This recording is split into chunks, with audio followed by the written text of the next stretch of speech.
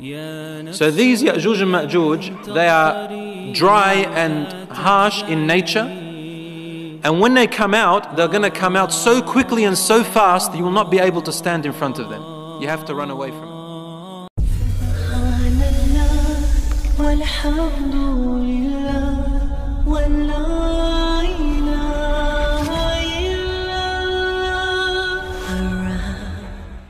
ثم أتبع سببا Then he followed another road حتى إذا بلغ مطلع الشمس Now he found the sun rising So this is some land in the east He found the sun rising ووجدها تطلع على قوم لم نجعل لهم من دونها سترا He found that this group had nothing to protect them from the sun Some have said this means that they did not know how to build buildings They were still living in the open and they were just using the trees as shade. Others have said this means that they were a group that didn't wear clothes.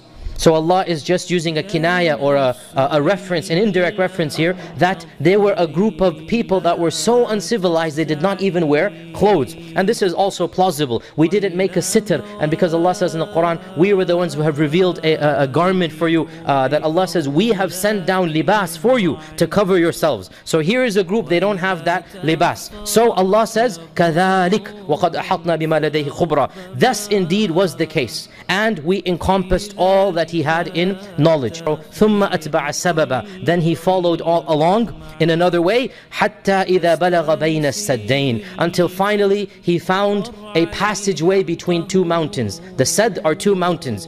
And he found there a group of people, they could not speak to him. لَا يَكَادُونَ يَفْقَهُونَ قَوْلًا What this means is they were cut off from all civilization. Because every civilization has a translator, has an interpreter. Every civilization you go to, you will find somebody who speaks your language if the civilizations interact.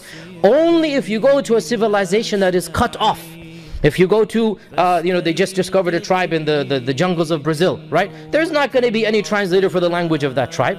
So Allah is indicating that Dhul Qarnayn went to a far away land, cut off from human civilization, cut off from contact with other groups of human beings. They couldn't even communicate. And this is the, the height of being cut off from other civilizations. So they communicated through other than speech and they communicated th through their hands. So they said, which is, everybody can do this. You can always communicate basic stuff, uh, images and whatnot. So they said to Dhul Qarnayn that Ya'juj and Ma'juj are causing a lot of evil on this earth.